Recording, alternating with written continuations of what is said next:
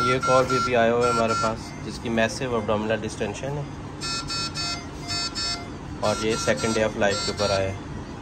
Parents sometimes बच्चे के पेट को नहीं देखते और दूध पिलाने पे ज़्यादा तवज्जो देते हैं। जबकि साथ साथ उसकी अबडोमिनल डिस्टेंशन हो रही होती है, पेट बड़ा हो रहा होता है। ये इसका एस्पिरेट आया है, पहले 25 फाइव निकला है और स्टिल इसका एस्पिरेट आए जा रहा है, आए जा रहा है। इसका क्या मतलब है कि ड्यू टू एनी रीज़न बच्चे की इंटेस्टाइनल ऑब्स्ट्रक्शन हुई है, आँख में हरकत बंद हुई है और पेरेंट्स उसको रिकगनाइज नहीं कर सके, या जो भी अटेंडिंग फिजिशियन था, और जिसकी वजह से बच्चे की अबडामिनल डिस्टेंशन स्टार्ट हो गई है।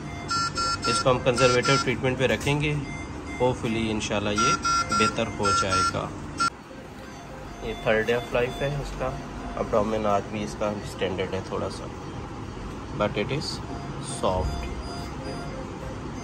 with the passage of time it will improve और फिर हम इसको इंशाल्लाह स्टार्ट करेंगे फ़ीड और बेबी ठीक होके जाएगा घर होपफुली